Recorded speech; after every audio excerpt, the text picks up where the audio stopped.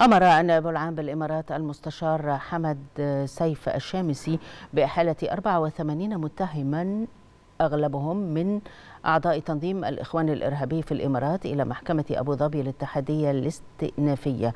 ويأتي ذلك لمحاكمة المتهمين عن جريمة إنشاء تنظيم سري آخر بغرض ارتكاب أعمال عنف وإرهاب على أراضي الدولة. وذكرت وكالة أنباء الإمارات أن المتهمين كانوا قد أخفوا هذه الجريمة وأدلتها قبل ضبطهم ومحاكمتهم مشيرة إلى أنه بناء على معلومات وتحريات كافية أمر النائب العام بالتحقيق في وقائع هذه الجريمة.